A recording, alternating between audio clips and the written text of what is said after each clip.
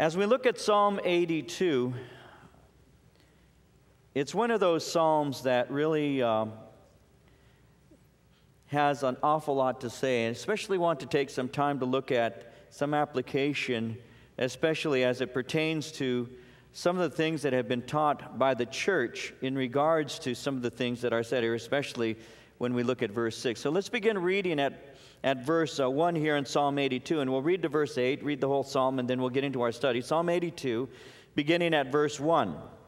The psalmist Asaph writes God stands in the congregation of the mighty, he judges among the gods. How long will you judge unjustly and show partiality to the wicked? Selah.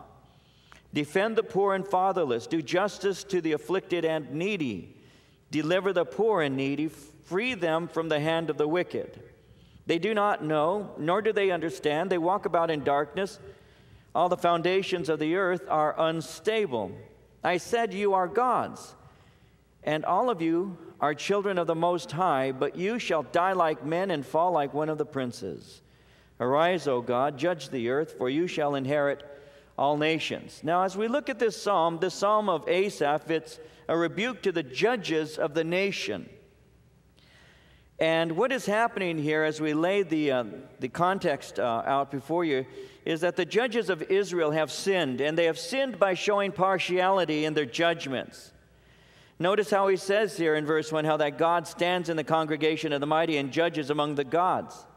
So he's speaking concerning the fact that, that God is dealing right now uh, with the, the people who are making judgments. And I'm going to show you some things in a moment but he's dealing with the fact that they're showing partiality. Now, as we look at this, um, notice how he says he judges among the gods.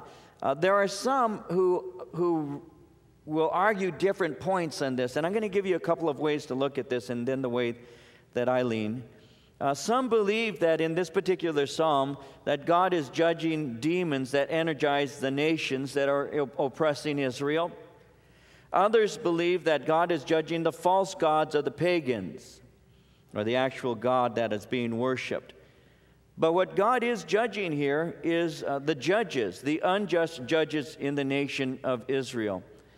Now, let me develop a background for you, lay a foundation, and then move into our study. Uh, God gave the judges of the nation of Israel specific uh, commands concerning how they were to judge the nation. If you take notes, Leviticus in chapter 19, verse 15 uh, says this You shall do no injustice in judgment. You shall not be partial to the poor, nor honor the person of the mighty. In righteousness you shall judge your neighbor. Deuteronomy 16, verse 19 You shall not pervert justice. You shall not show partiality, nor take a bribe, for a bribe blinds the eyes of the wise and twists the words of the righteous. And so a judge was to be impartial. A judge was to judge in a righteous way. And these judges had been placed over the nation of Israel to represent God. And because God judges righteously, the judges over the nation of Israel were to exercise righteousness as they judged also. The Bible teaches us that God judges fairly, and therefore those who represent him must also judge fairly. Deuteronomy 10:17 says, "The Lord your God is a God of gods and Lord of lords, the great God, mighty and awesome, who shows no partiality nor takes a bribe. In Acts chapter 10, verse 34, the Apostle Peter said, Of truth, I, per- I perceive that God is not a respecter of persons. And so, as he's speaking here, he's speaking concerning the fact that God is judging among the gods, or God is judging among the judges there in the nation of Israel. And he asks the question in verse 2 How long will you judge unjustly and show partiality to the wicked? And so, what is happening is they are judging unjustly, and that's why God is dealing with them. Because in their judging with partiality, they fail to represent God properly. Proverbs 24 23 says, These things also belong to the wise. It's not good to show partiality in judgment. And again, Deuteronomy 1:17, you shall not show partiality in judgment. You shall hear the small as well as the great. You shall not be afraid in any man's presence, for judgment is God's. The case that is too hard for you, bring to me, and I will hear it, Moses said. And so there's to be no partiality in judgment. That's what he's speaking about here when he's speaking in these first two verses. Now, in verse 3, when he says, Defend the poor and fatherless, do justice to the afflicted and needy, verse 4, deliver the poor and needy, free them from the hand of the wicked. He's simply saying that a righteous judge is going to defend, is going to do justice, is going to deliver, and he's going to free those who are being unjustly treated. Because the Lord intends judges to care properly for those who are in need. Now, when it says in verse 5, they do not know, nor do they understand, they walk about in darkness, all the foundations of the earth are unstable. He's simply saying this, and now we're going to get some get practical, and then I'm going to move you into a theological controversy and probably leave you there. No, I'm going to try and draw you out of it too. But I want you to see something. When he says in verse 5, all of this is relating to judgment. All of this is related to judging righteously. All of this is related to using God's standards in justice and representing him. Obviously, in context, he's speaking to the judges over the nation of Israel who would use the law of God as they made their judgments. Now, as somebody representing God in the nation of Israel, as a judge, they are to show no partiality. They're not to look at a poor person and say, well, he's poor, therefore I'll give to him a favorable decision because they're poor. Any more than they're to look at a rich person and say, I'll favor them because they have a lot of money. Because whether it's rich or whether it's poor, the standard is to be the same. Because justice is even. Justice is always equal. You need to see that. Now, what happens when people don't use God's righteous standards? Well, that's what he's talking about in verse 5 when he says, They do not know, nor do they understand. They walk about in darkness, and all the foundations of the earth are unstable. When God's righteous standards in judgment are not being utilized, the result is chaos. The result is instability. That's the point that he's making here. Now, I have to be careful not to go too far, but I will use one example because it's a recent example. In September, some of us have already heard the news. In September, in the state of Louisiana, the state voted concerning um, whether or not they should honor same sex marriages. And there was an overwhelming response negative to that. 78% of those who voted in the state of Louisiana voted against recognition of same sex marriage. So the voters spoke, but a judge overturned the will of the people. And that happens all the time. It was, uh, was presented to us just today that uh, yesterday a judge overturned the will of the people. That happens all the time when you refuse to use standards that are righteous. And so, what happens when judges are not using righteous standards will always be that they walk about in darkness and chaos ensues. That's what he means when he says the foundations of the earth are unstable because that which would be a strong foundation is moved, there is no stability. And so God's righteous standards are to be honored. Now, in verses 6 and 7, I want you to see this. This is an interesting portion where God says, I said you are gods. And all of you are children of the Most High, but you shall die like men and fall like one of the princes. Now, I want you to see this. I underlined this in verse 6 where, where he says, I said, You are gods. Now, what an interesting thing to say. What is it saying? Is it saying that these judges, these men, are actually gods? Is, that what, he, is that what he's saying? Now, there are those in theological circles who do teach that uh, man is a god. Uh, those of you who've been Christian for a while, if you've had any conversations with, uh, with Mormons, know that Mormons believe that uh, you can become a god. That's part of Mormon theology. They believe that you can become a God. They believe that God was a man. And they also believe that, that you can become a God also. Now, that's part of Mormon theology. If you didn't know that, all you need to do is speak to a, a, a young Mormon who will show up at your house eventually and, and, ask him that question Is it true that you believe that, uh, that men become gods? And the answer would be yes. And the answer also is that you will one day, as a man, you will have your own planet and you can have your celestial wives and you can have children and populate it. They believe that Adam once was, uh, Adam is a god. They call him Adam God, and, and, and that's just part of their theology. Um, and we know that.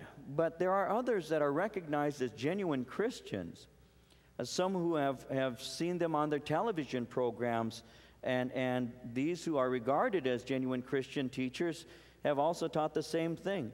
As a matter of fact, they will quote uh, this verse, which says, I said you are gods, and they will, they will combine that with the, the Gospel of John, chapter 10. Now, why don't you turn there for a minute, because I'm going to stay here in this thought for a little while here. In John chapter 10, and I want to show you something.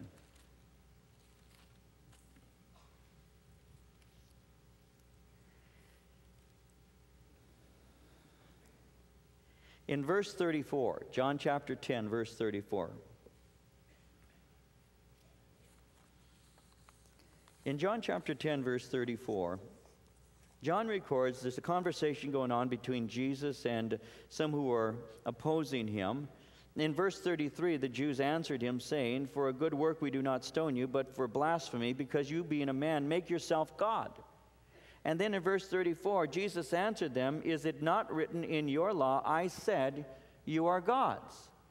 And so, what, what these teachers will do and have done in the past, and, and I'm going to quote them exactly, is they will say that we are actually gods, that we are little gods. Um, various TV teachers have made this claim. Some of these names you perhaps will recognize. For example, Kenneth Copeland. Kenneth Copeland said, now, Peter said, By exceeding great and precious promises, you become partakers of this divine nature. All right, are we gods? And then his answer, We are a class of gods. Kenneth Hagin once said, Man lived in the realm of God, he lived on terms equal with God. The believer is called Christ. That's who we are. We're Christ. Paul Crouch said, I'm a little God, critics be gone. And Kenneth Copeland said, God is a being that stands six foot two, six foot three. He weighs somewhere in the neighborhood of a couple of hundred pounds, a little better. He has a hand span of nine inches across.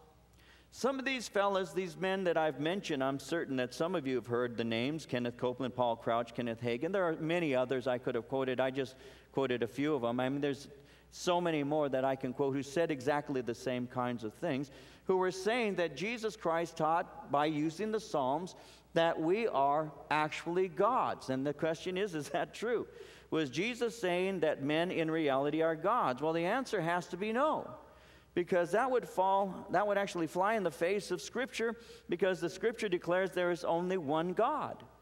In Isaiah 43, verse 10, the Bible says, Before me there was no God formed, nor shall there be after me. Isaiah 45 5 says, I am the Lord, there is no other, there is no God besides me. In the New Testament, 1 Timothy 2, verse 5, there is one God, one mediator between God and men, the man Christ Jesus. So if we, on the one hand, note that God, back in Psalm 82, verse 6, says, I said you are gods, if we note that Jesus in John 10 34 quoted Psalm 82, verse 6, You are God's. And yet we see the witness of Scripture, old and new, is there's only one God. The question has to be asked what is Jesus saying then? When Jesus is quoting Psalm 82, verse 6, and as we look at Psalm 82, verse 6, uh, Jesus is actually referring to Psalm 82 as a psalm of judgment against the judges of Israel, as I shared in our introduction. And God is referring to the judges as gods because they were to represent God to the people. Notice here in Psalm 82, verse 1, how it says he judges among the gods. Now, when he says that, the word gods in the Hebrew language is the word Elohim. And Elohim is a word that is used for gods, it is also used for rulers, and it is used for the word judges. In Exodus 22, verse 9, the Bible says, Any kind of trespass whether it concerns an ox, a donkey, a sheep, or clothing, or for any kind of lost thing which another claims to be his, the cause of both parties shall come before the judges. That word judges there is the Elohim. And whomever the Elohim condemns shall pay double to his neighbor. The word Elohim there is the word judge. They were called gods in this context because they're administering righteous judgment. When they fail to do so, they're going to be judged by the true God. That's the point that's being made here. It isn't that you and I can run around saying, I am a little God. It's that you and I understand that there's only one God. And when judgment is being made, there's only one who has the right to make that judgment, that is God. And therefore, if I'm making judgment on his behalf, then I use his standards. And his standards come from his word. And as long as I am making judgment according to his word, in other words, determining what God's word says on this matter, then I am I'm going to be uh, doing it in a righteous or a proper way. If I should do it incorrectly, then I am misrepresenting God, and in doing so, God brings judgment on me. That's what he means in verse 7 when he says, You shall die like men and fall like one of the princes. I said that you are a judge, but you are not righteously judging. And because you are not righteously judging, then I will bring judgment on you. That's what God is saying here in Psalm 82. And then he finally says in verse 8 Arise, O God, judge the earth, for you shall inherit all nations. So it concludes that God will, will bring justice on earth and prevail. Now, what I just shared with you, uh, some of you might have memories long enough to remember when that uh, little gods uh, controversy was a big thing in the church. It's amazing to me how winds of doctrine enter into the church and make a lot of casualties and then sweep on out. But it wasn't that long ago that I was having conversations with people who honestly believed that they were little gods because they were listening to these men on TV who were telling them so. Well, the scripture doesn't teach that at all. What the scripture is talking about in Psalm 82, uh, the whole psalm, is that the judges of Israel are not judging righteously, and God is bringing judgment on them, and that's what Psalm 82 deals with. Now let's move into Psalm 83, and I'll try and confuse you some more with the new psalm. Beginning at verse 1 Do not keep silent, O God. Do not hold your peace, and do not be still, O God. For behold, your enemies make a tumult, and those who hate you have lifted up their head. They have taken crafty counsel against your people and consulted together against your sheltered ones. They have said, Come and let us cut them off from being a nation, that the name of Israel may be remembered no more. For they have consulted together with one consent. They form a confederacy against you, the tents of Edom and the Ishmaelites, Moab and Hagarites, Gebal, Ammon and Amalek, Philistia and the inhabitants of Tyre. Assyria also has joined with them, and they have helped the children of Lot, Selah. Deal with them as with Midian, as with Sisera, as with Jabin at the brook Kishon, who perished at Endor, who became as refuse on the, on the earth. Make their nobles like Oreb and like Zeb. Yes, all their princes like Zebah and Zalmunna, who said, Let us take for ourselves the pastures of God for a possession. Oh my God. Make them like the whirling dust, like the chaff before the wind. As a fire burns the woods, as a flame sets the mountains on fire, so pursue them with your tempest and frighten them with your storm. Fill their faces with shame that they may seek your name, O Lord. Let them be confounded and dismayed forever. Yes, let them be put to shame and perish, that men may know that you, whose name alone is the Lord, are the most high over all the earth. And so Psalm 83 is another psalm of Asaph. And Asaph is crying out to the Lord that the Lord might destroy the enemies of Israel. Now, I want you to notice something in the first eight verses. Uh, Asaph is pointing out that, that when, when people hate God, they also will hate God's people. And what they will do is they will conspire against them. Notice the names of Israel's uh, enemies, and, and I won't go into a long thing with them, but Edom it represents uh, Jordan today. The Ishmaelites or Bedouins, uh, Moab uh, is, is a nation that was a descendant of Lot. The Hagarites are unknown, basically, and Gebal is uncertain. Ammon is also a descendant of Lot, and Amalek was at the southern border of Israel. Philistia is where the Philistines come from. Tyre is to the north, and Assyria was a dominating kingdom in the 8th century before Christ. But the point he's making here, and I want you to see this in verse 3, is that they've taken crafty counsel against your people and consulted together against your sheltered ones. They've said, Come, let us cut them off from being a nation, that the name of Israel may be remembered no more. So hatred for Israel is not a new thing. We have today people who would do the same thing and are saying the same thing. We don't want Israel to exist any longer. Well, that's not a new thing. That's something that's been going on for centuries. It's referred to here in this psalm that was written centuries before Christ. And the bottom line is Israel's enemies have always wanted God's uh, people to no longer exist. You see that true in the Old Testament as well the, as is in the New. There are some today who really think that the world would be better off without Christians. And they say that. I mean, I remember reading something in the, uh, one of the local newspapers in a letter to the editor, and he was basically saying that, that the world would be a lot better off if there were no Christians in it. And I thought, well, you know, you're going to get your wish because when the rapture happens, there will be no Christians in it anymore. You will get your wish. It will happen. And then let's see how happy times are at that point. Because people don't like Christians, and that's really true. And they would like to eliminate Christians from the public square. There's no doubt about that. Uh, I was reading today that the U.S. Equal Employment Commission reported that religious discrimination has gone up an overwhelming 82% over the past 11 years. I was reading about a fourth grader by the name of Raymond Raines, uh, who went to Waring Elementary School in St. Louis, Missouri, and he was sent to the principal for saying grace before eating his lunch. In 1994, that occurred. In January 15, 2002, a little girl, a kindergartner by the name of Kayla Broadus in Saratoga Springs, New York, was silenced and scolded for praying, God is good, God is great, thank you, God, for my food. Her teacher reported the infraction to the school's lawyer, who said her prayer was a violation of separation of church and state. She's five years old. She's saying, Thank, thank you, God, for my bologna sandwich. Judge Samuel B. Kent, the U.S. District Judge for the Southern District of Texas, in May 1995 stated that any student uttering the word Jesus would be arrested and incarcerated for six months. He said, Anyone who violates these orders, no kidding, is going to wish that he or she had died as a child when this court gets through with it. I could go on and on and on. I've got a book that has nothing but cases of discrimination against Christians in the public square. You know, the fact is, is that the nation of Israel had enemies who wanted them to cease to exist. And the church to this day has enemies of the church who wishes that you and I would not exercise our freedom of speech and belief and faith. They would love it if you ceased declaring the things that God has spoken in His Word. They would love you to just go away.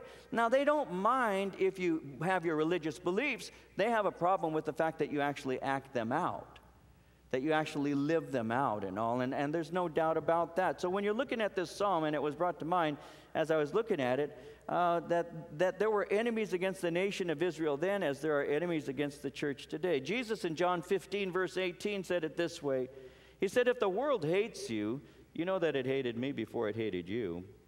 He said in Luke 6, 6:22, "Blessed are you when men hate you, when they exclude you and revile you and cast out your name as evil for the Son of Man's sake." In 1 John 3:13, uh, John said, "Do not marvel, my brethren, if the world hates you." You know, there are a lot of Christians who you just don't understand why people don't like them. And uh, I learned a long time ago that you can't please everyone, so you've got to please the Lord. You, you can't please everyone. There are people who won't tell their mom or their dad about Jesus Christ, who will not share the gospel with them because they don't want to offend their mom or their dad. There are people who will not share with their grandmother or grandpa. They won't share with the co-worker. They won't talk to anybody about the Lord because they're afraid of offending them. Well, the bottom line is, is that the gospel of Jesus Christ is offensive. I mean, Jesus Christ is the rock of offense, and people do stumble over him.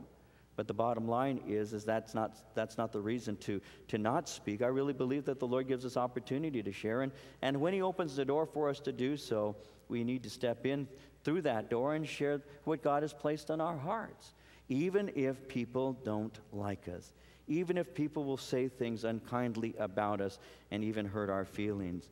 Because the bottom line is, is that they don't hate you, they're hating the Lord. They hated Him before they hated you. And so when you share and somebody says, you know what, why don't you shut up? Or when they say, you know, why don't you just, you know, keep your, your faith to yourself? You know, that's, that's no reason to go home saying, oh, boo-hoo, poor me, nobody likes me, I'll never talk about Jesus again. No, what you do is you go home and you say, well, Lord, you know, I'm, I'm starting to learn that those who shall live godly and godly lives in Christ Jesus shall suffer persecution. I'm beginning to understand what that's all about. So, Lord, I ask that I might love you so much that I'll be willing, even if mom and dad want nothing to do with me, that I'd be willing to just share because it's true and because these people need you, Lord. May I have the strength to do that. And so, as the psalmist is speaking here, he's saying that there is a confederacy against the nation of Israel that is in, in reality against God. And there are all these nations that are, are wanting to destroy the nation of Israel. But in verse 9, he goes on to pray, Deal with them, as with Midian, as with Sisera, and as with Jabin at the brook Kishon, who perished at Endor, who became as refuse on the earth. Make their nobles like Oreb and like Zeb. Anybody here named their kid Zeb? Uh, yes, all their princes like Zebah and Zalmunna, who said, Let us take for ourselves the pastures of God for a possession. Now, as you look at this, he actually gives us uh, some uh, insight into Jewish history that is worthy of considering for a moment. When he says, Deal with them as with Midian, well, that brings to mind what God did to the Midianites when God was using a man by the name of Gideon. Gideon is one of the more interesting men in the scriptures. He's one of the judges of Israel and is spoken about in Judges 6 through 8. And Gideon was an interesting guy. He was uh, afraid of the Midianites, and so he was in. He was actually hiding from them as he was threshing out some, uh, some grain when the angel of the Lord appeared to, to Gideon. And, and the angel of the Lord spoke to Gideon in this way He said, Hail, thou mighty man of valor. Now, when he's speaking to a man who's hiding for fear of the Midianites and calling him a man of valor, that's always intrigued me. But I've discovered something about the Lord. The Lord has a way of seeing you in a way that you don't even see yourself. And so he starts to speak to him. And as he speaks to Gideon and all, he's basically saying that the Lord is going to use him to deliver the children of Israel. Now, I'll encapsulate his story and get to the point here because he's using him as an example. Ultimately, what God says to him is this I'm going to use you to deliver the nation of Israel. And so I want you to be basically the general who's going to use the, uh, be uh, over the army, and I'll get together the fighting men of Israel. So he gets together the fighting men of Israel and he numbers them, and there are 32,000 soldiers. And then he says, If any of you are afraid to go into battle, then, then just go on home. And immediately 22,000 people turn and walk away. Now, that wouldn't have done me much good, thinking there goes, you know, two thirds of my army. Now I've got 10,000. And now he's saying, well, we've got another test. Let's go to this brook and, and uh, drink some water. He watches them. He sees some get down on all four. He sees some lap it like a dog. The ones who lap up the water like the dog were numbered 300. And with these 300, God is intending to deliver the nation of Israel. And so he sends 9,700 home, and out of 32,000 original soldiers, he ends up with 300. And that gives us insight that God doesn't need a lot of people. God just wants to use whoever is willing to be used. That's one of the reasons why our men's ministry is called the Gideons. Because in the midst of all the men that we have, we know there's a small group that want to be used by the Lord. So we call them the Gideons to encourage them so that they'll be like Gideon's men. And so, with these 300, God says, Here's your strategy of battle. I want you to divide into three sets of 100, and I want you to stand on the hill, and I want you to have a pot in one hand. I want you to put your, a torch in it, and I want you to have the sword in the other. He says, and then at a certain time, I want you to break the pot so that the light shines forth. And when you do so, just shout out the sword of the Lord and of Gideon, and watch what happens. And so these men are all stationed over the hills. There's 120 plus thousand enemies encamped, and you've got 300 guys with a sword and a lantern in a pot. And those are the soldiers that God is going to use. And so at the right time, they break the pot, the light shines forth, and the people go into a panic and they actually kill one another and take off running. So that teaches me that God can use cracked pots. One of the things that the Lord taught me through that story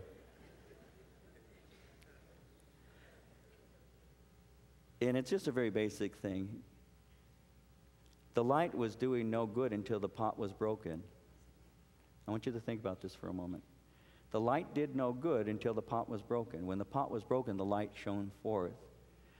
And the vessels that God will use when he wants to bring a victory, will always be a broken vessel because the broken vessel allows light to shine through. And inasmuch as God is in your life through faith in Jesus Christ, and He is the light, the true light that lighteth every man that enters into the world, when that light begins to shine forth, it normally shines forth through a broken vessel. And the thing that will keep you from being used by the Lord is when you are not willing to be that broken vessel. When the vessel is busted, the light shines and victory comes. And I have seen that to be true in my life.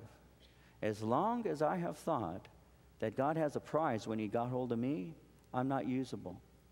But when God, through series through life and circumstances, breaks this pot, when the pot is broken, the light shines forth and God gets victory. And That's how it works.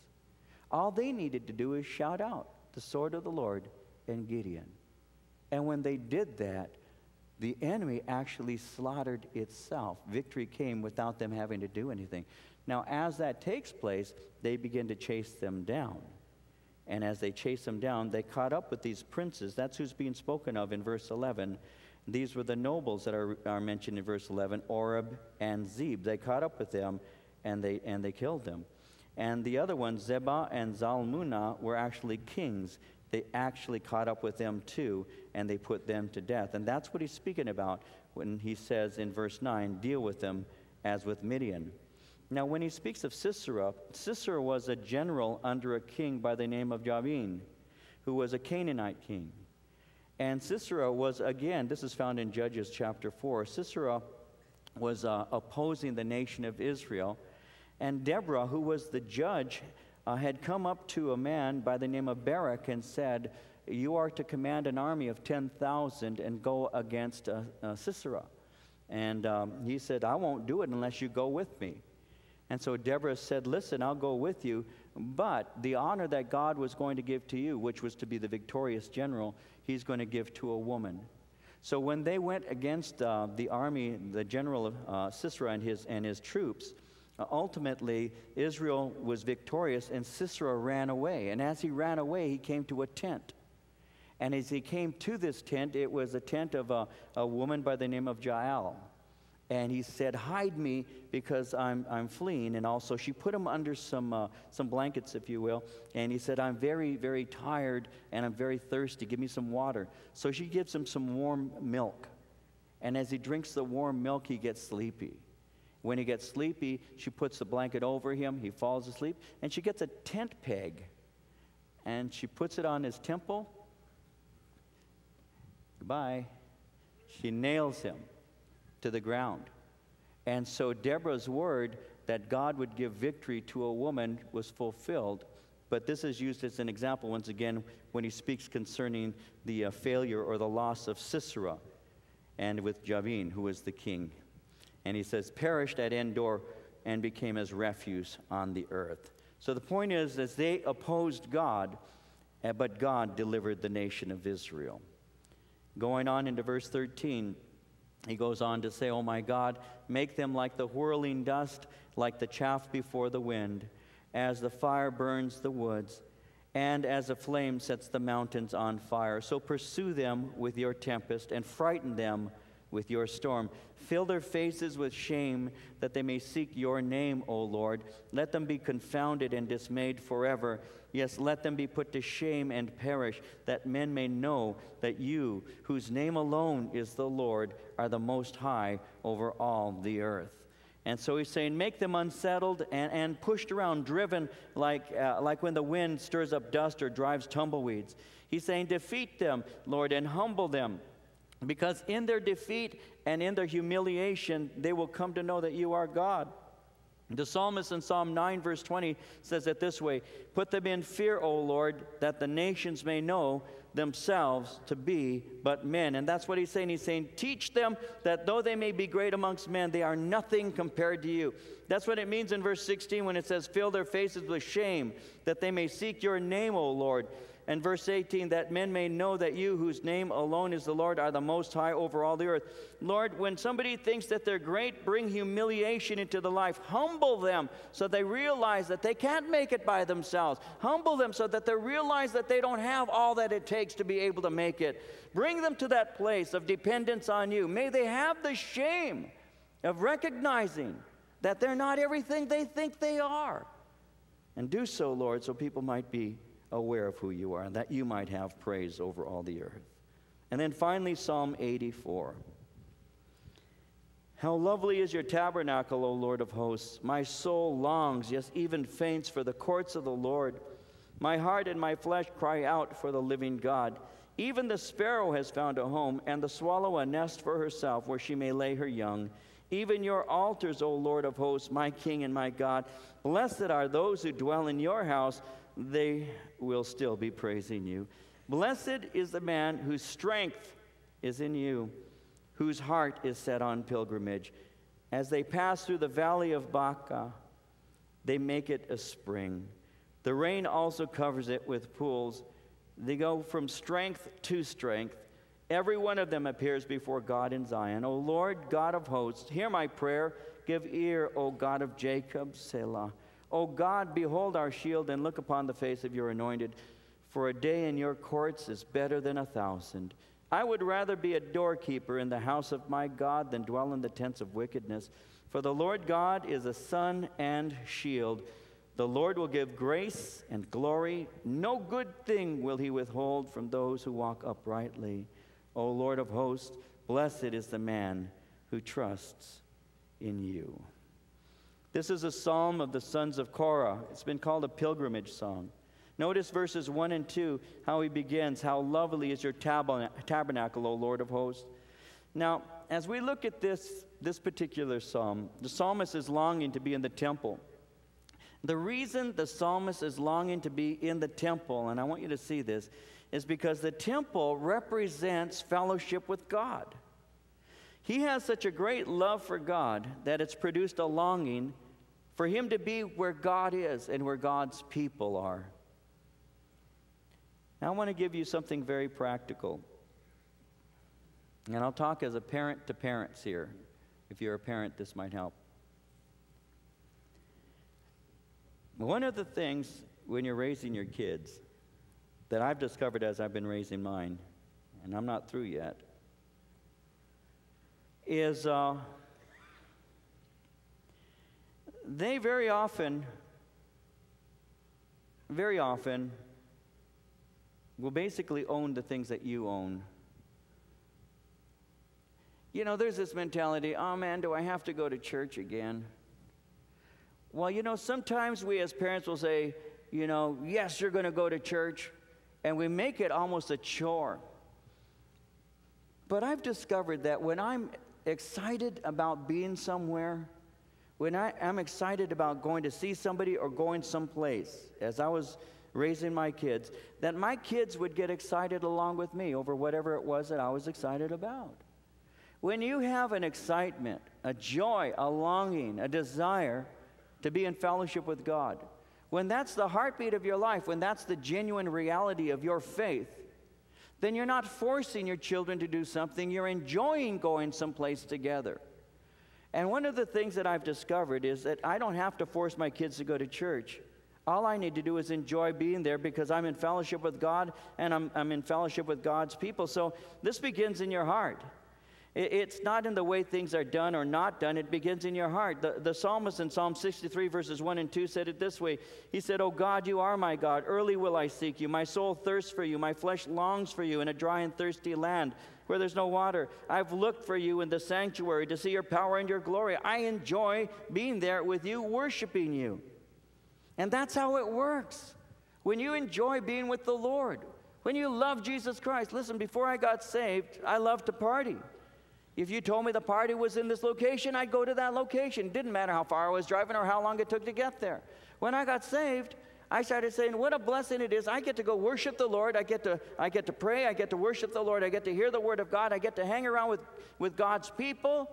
I get to be filled with the things of God. And I could remember those early days in my walk with the Lord. And that was before we had so many things that are available to us now.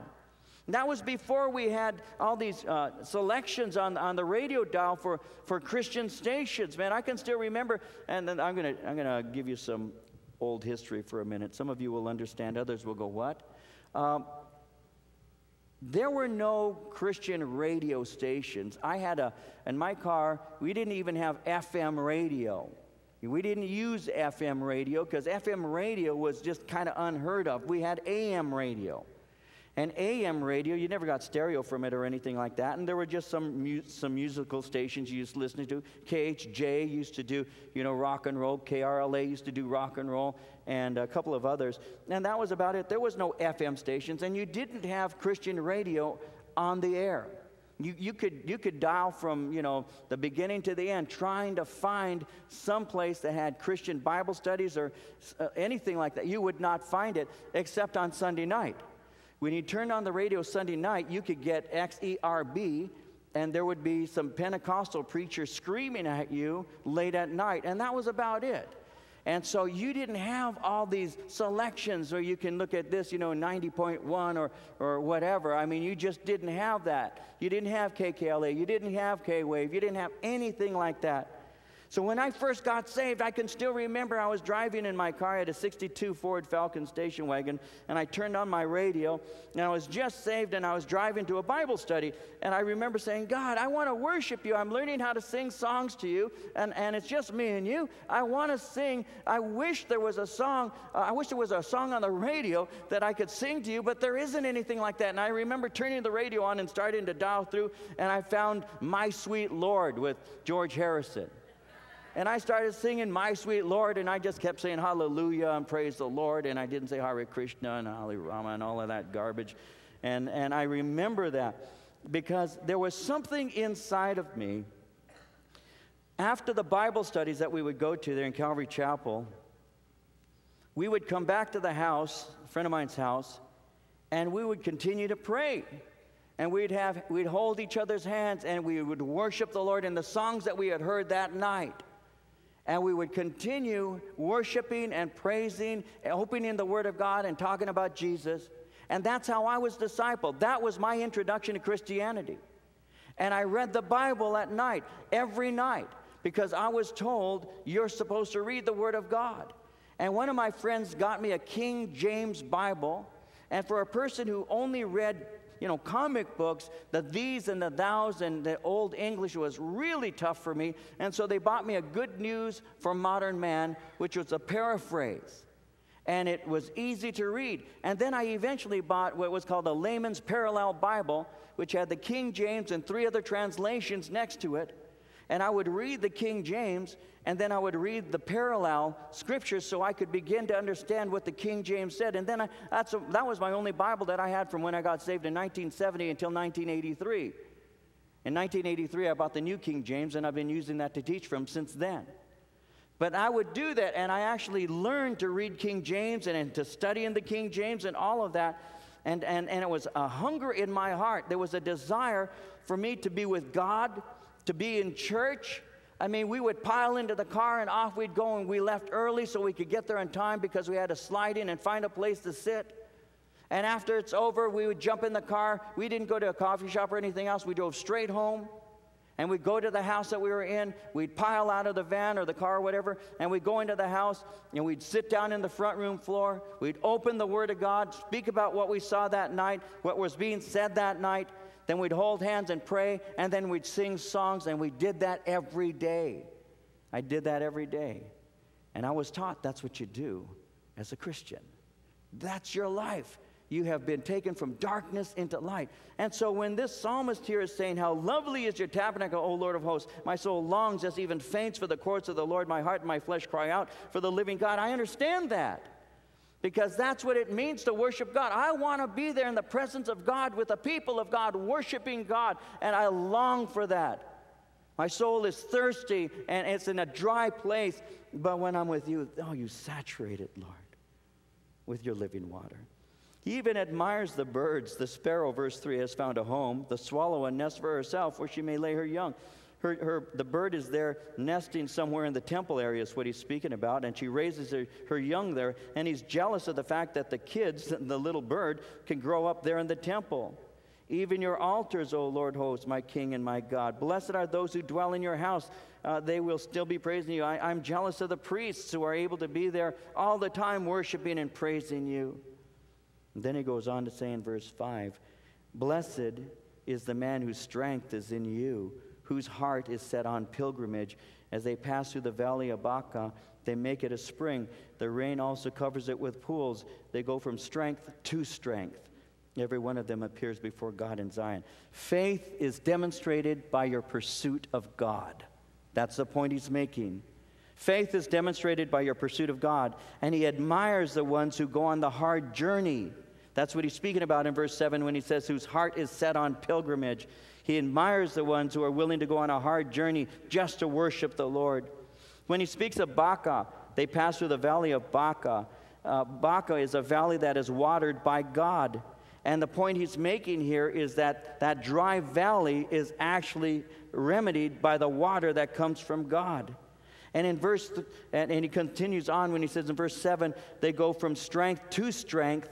Uh, that's an interesting thought because your strength, pictured by longing, enters into dryness but ends up being watered. Now, let's see how I can put this. And I want to make this as practical as is possible. Verse 5 Blessed is the man whose strength is in you, whose heart is set on pilgrimage. Blessed is the man, listen carefully. Blessed is the person who is willing to go through anything just to be with you, who moves from strength to strength. How do you grow in strength? How do you grow in strength? There's a willingness to go through whatever is necessary in order to be watered by God. That's how you grow in strength. In your walk, you will go through a valley that sometimes is very dry, but God will water you as you go through that valley. And you can start out in a strong place, and you will, in your pilgrimage with the Lord, you can find yourself entering into times of dryness. You started out from strength, but you enter into weakness only to be watered by God and brought back into a place of strength. That's how your spiritual life is. And I've discovered something in the Lord in my own walk. Is I can start out strong, but I can end up dry, and then I am revitalized by the Spirit, revived, and I brought into even a stronger place. And I believe that the Lord has done that continually in my life to develop in me a strength that would come no other way, and He does the same with you. And sometimes we go through things in our lives that are exceptionally difficult. And sometimes it feels like you're never going to get out of that valley of Baca, that dry place. But as you go through it, the Lord brings that water, resuscitates, and strengthens you. Last night, I got a phone call at um, about 1. See, Marie, my wife, was at the pastor's wives conference. She left on Sunday and came back today. And so I was in bed, and my son David is going to a, a class at night. And um, my Anna was home. Joseph is at school. And I was asleep. I, I went to bed about 11:30, and it's now about 1 o'clock, and, and I'm pretty tired. And, and my Anna comes in and says, Dad, Dave's on the phone. My, my son, David. is on the phone, Daddy. So I answered the phone, Yes, son, what's wrong? Dad, my car was just totaled. Car was just totaled. My son was sitting, I guess, at a light. He had one of his friends who was in front of him. His friend is right, driving a motorcycle a car came out of nowhere, estimated between 50 and 70 miles an hour, and blew through a corner. The motorcyclist in front of David, his friend, seeing the car come, shot out. David doesn't see a thing because it's coming so fast and he's looking down, but he has his car in first gear. When the motorcyclist took off as fast as he did, David saw a flash to his left and began to move. His car was only able to move. He said, Dad, I just barely was able to get it rolling. When he got broadsided last night, the guy was estimated to be going over 50 miles an hour when he made contact with my son's car. Totaled it. It T boned his car. The left rear tire was bent in an angle. That's how hard it hit. And David calls me at 1 in the morning and says, Dad, I just got my car totaled. I said, Are you okay, son? He says, I'm fine, but an ambulance is here, Dad. I'll call you right back. So I'm laying there in bed until 1.30 waiting for my son to call me back. He calls me back at 1.30. He says, well, they were checking me out, Dad. I'm a little sore, but I'm more in shock. And I said, what happened? And he explains what took place. And it hit me. I've been praying for my son. I pray for my kids like you pray for your friends and your family. I pray for my kids a lot, all the time. When they leave, I'm praying for them. God be with them, protect them, keep them, strengthen them, Lord. Bring them home safely. I do that all the time. But last night, I almost lost my son. Last night, I almost lost my son. Because if his car had not moved just those few inches, this truck that ran into him would have hit him straight in the side, at the driver's side. And at 50 to 70 miles an hour, his, he's got these airbags that are supposed to go off, didn't go off. And he could have died. He, he said, Dad, he said, my, all the, he said, I'm in, I was just in shock. He said, but I couldn't breathe. I said, son, you flew around in that car so hard, it knocked all of the air right out of your lungs. That's why you, you didn't have any oxygen. And you know, as I was laying there, and then he said, Well, I'm okay, Papa, I'll be home in a little while. He got home after, you know, so much having to do so much at 3 in the morning. And I'm, I'm asleep, and he taps my, my foot and wakes me up and tells me the whole story. And I, he says, Dad, my car's gone. And my answer is, I can replace a car. I can't replace you. You know, you're not going to get another car, but we could replace it. These are the things. These are the things that my family goes through all the time. These are the things where we're walking strong with the Lord, and then you enter into a valley of tears. Then you enter a valley of dryness. You enter into something, but you know, you start with strength and you end up with even more strength. Because my faith in the Lord grows when my children are preserved like that. And even had my son gone home to be with the Lord, I know where he's going to go. I, I will not lose my son. I will never lose my son because I know where my son is. But these are the things that we go through. When I got saved, there was no guarantee that I wouldn't go through valleys of dryness. There was no guarantee that my life would be just blessed always. You know, in other words, never going through tough times and discovering the other things about God, how He's there and faithful and strengthens you and, and produces patience and, and all of these things. You know, if, if, the, if the evangelist would have said, now that you're a Christian, you need to know that you'll never cry again. You need to know that you're only going to laugh. You know, that you'll put your hand into your wallet, it will be magical. It'll always have money in it. But it didn't happen that way. Not for me. Maybe it happened like that for you, and you should pastor this church, and I should listen to what you're learning.